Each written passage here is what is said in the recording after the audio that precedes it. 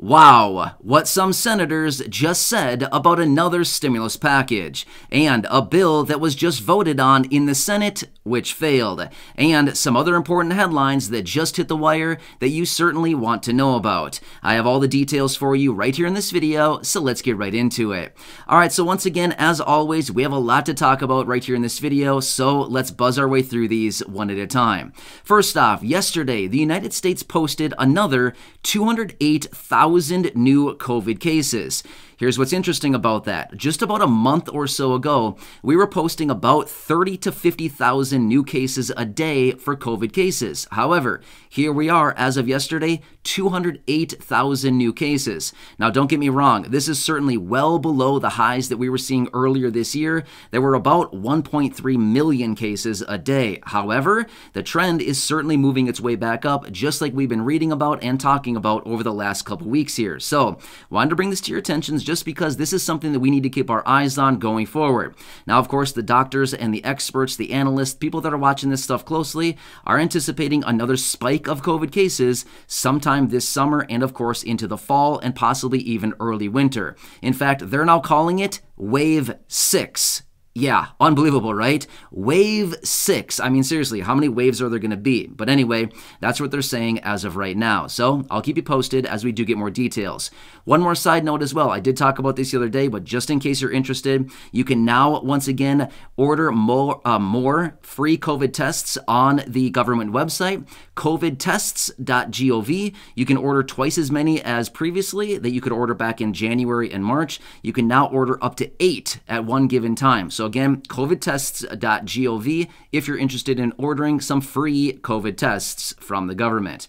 All right, next. This morning, the initial jobless claim number was released again. This is a number that comes out every Thursday morning, and I like to keep you posted on this again because it gives us a glimpse into the job market and what is actually going on out there right now with unemployment and of course, employment. So here's what happened. It came in this morning at 218,000 new people applied for unemployment benefits last week. Now, again, why do we care? Well, we care because this is the highest number that we've seen since January. Again, not a good trend. The trend is going up in this case. In other words, more people being laid off, out of work, things like this. Therefore, it's starting to show that some of the effects of this inflation and things that are going on right now are starting to hit the employment sector. Not necessarily a good thing. Again, another metric that we need to watch closely going forward. And of course, I'll keep you posted as we do get more details. Next, I want to throw this one out there as well. Now, over the last maybe two months or so, I've been talking about global food shortages. Now, I think this is a very important one because this is very, very important to understand because here's the thing there's been a lot of talk here going forward especially with the glo- uh, global conflict and global situation that's going on right now, um, the two countries, Russia and Ukraine, export a massive percentage of the global uh, grain supply wheat, barley, soybeans, corn, things like this. Well, as a result of that and everything going on right now, unfortunately, they're not able to produce and or export all of this grain that the world needs. So they've been talking a lot about uh, global food shortages. Well, here's the thing. It was just released today that Ukraine is exporting 60% less grain right now than what they were a year ago. So that's really going to impact the global food supply, right? Again, something else we got to watch closely because there's a lot going on, and ultimately, this is something that is probably going to take a long time to work its way through the system, but it's also going to take a very long time to get back up and running once we get the necessary amount of grain that we need. But remember, too, you can't just flip a switch and have a bunch of grain. It takes a very long time to plant the fields, wait for it to grow, um, you know, harvest the crop, things like this. It just takes a long time. You can't just flip a switch one day and ramp up production. It doesn't work that way, right? Not with grains, anyway. Some things it does, but not with uh, crops. No, it doesn't work that way.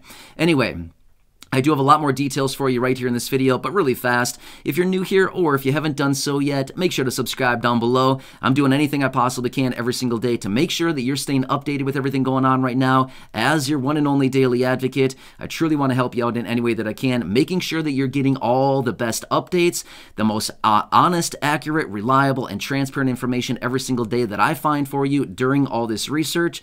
I want to make sure that you know about this stuff because it is going to impact us in some way, shape, or form And anytime that money, benefits, checks, programs, or anything else comes out that we can take advantage of, of course, I want to be right here for you, laying it all out, making sure that you know about it so that you can grab what you have due coming to you as far as your piece of the pie. So, again, thanks so much for joining me. Please make sure to subscribe down below if you haven't done so yet.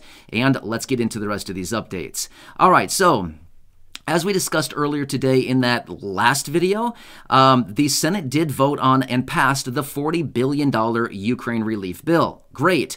However, this afternoon now, they also did vote once again to actually move forward on that $48 billion business package. Remember that one? I talked about that earlier as well. $48 billion package to send it out to entertainment, uh, venues, gyms, minor league sports teams, things like this that have been negatively impacted as a result of COVID. Well, as I mentioned in the video earlier, a lot of lawmakers were coming out saying, I don't think so. We're, we're not going to send out another $48 billion to businesses um, as a result of COVID. This is not happening. No. Well, anyway, they voted this afternoon and it ultimately failed. It came in, the votes uh, 52 to 43. They needed 60 votes, so it failed by eight votes. So the likelihood of this thing actually going through and passing is probably very slim, as in it's probably not happening. Okay. So just want to let you know where we stand with that.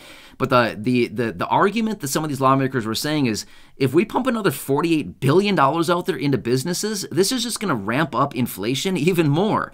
No, businesses don't need the extra support right now. The American people need the support not small biz or, not, or sorry, not um, small businesses, but rather not these entertainment venues, minor league sports teams, gyms, things like this. No, it's not happening. Anyway, so that failed this afternoon, and um, it was going to be set up for a, a, a final vote, um, possibly as early as tomorrow. But again, doesn't look like that's going to be happening. So just want to keep you posted on that one as well. Um, any further word on that $28 billion uh, bill that was passed late yesterday evening on the baby formula shortages? I have not seen anything on that lately. Again, as I do get more details on that, I can keep you posted, but it is waiting in the Senate as of right now, as far as last I heard about it and last I read about it. Um, as far as I understand, they did not vote on that one quite yet. However, let me share with you now what a couple senators are now saying about another stimulus package. Yeah, right. This is seriously a thing. Let me tell you the details about this. I've been talking about this for several months now, and finally the chickens are coming home to roost. Yeah, right? I, I don't know where that fit into this presentation, but sorry, I just had to throw that out there because, you know, we've been talking about this for a very long time now, and finally we're getting some more data on this. So we've been talking about for a very long time now. Democrats have full control, right? They're controlling the House, the Senate, and of course the presidency. However, we got the midterm elections coming up a little bit later this year, where possibly the House may flip, the Senate may flip, but again, the presidency we don't it's going to stay the same for at least a few more years. Again not saying it's going to change i just have no clue i'm just simply saying that's what's going to happen.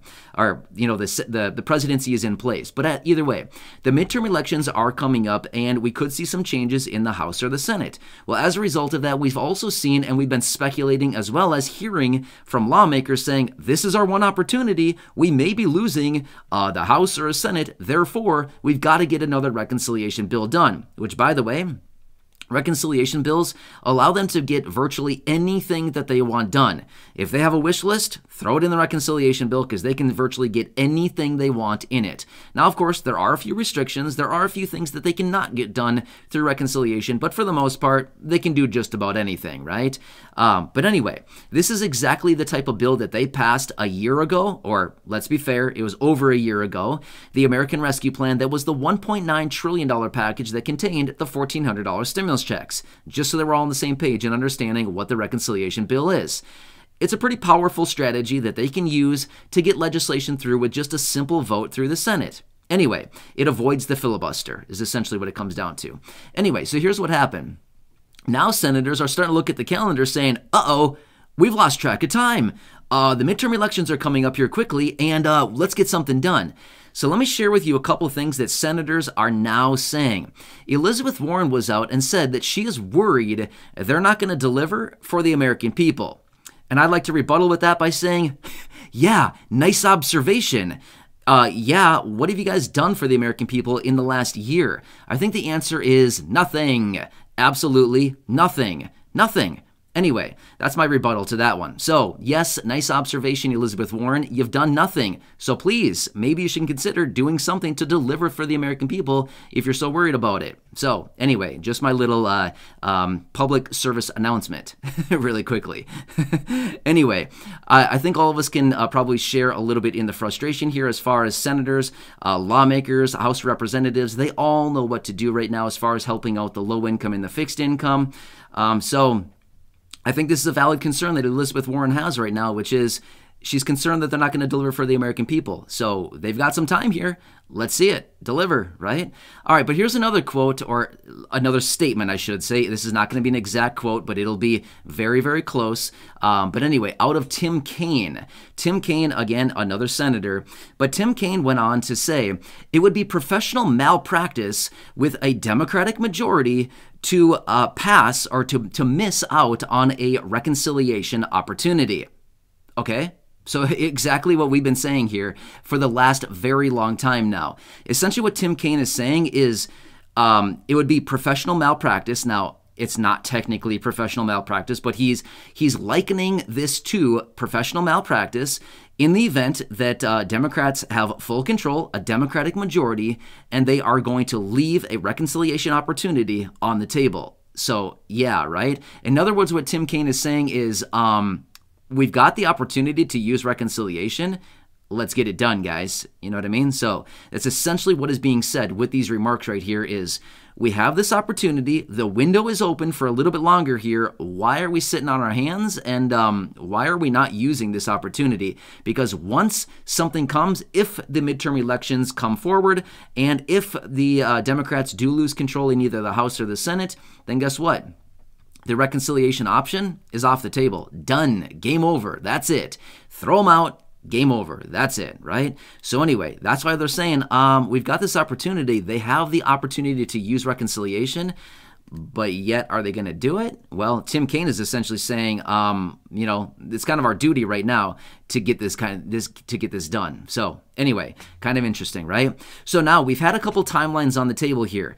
Uh, we've seen multiple different timelines. Um, so previously, over the last couple weeks and the last couple months, there's been this timeline of August. However, I just saw two more timelines today. One being Memorial Day. Well, I'm going to tell you this much. It's not happening by Memorial Day. That is only a couple days away. There's just no way. It's not going to happen by then. There's no possible way.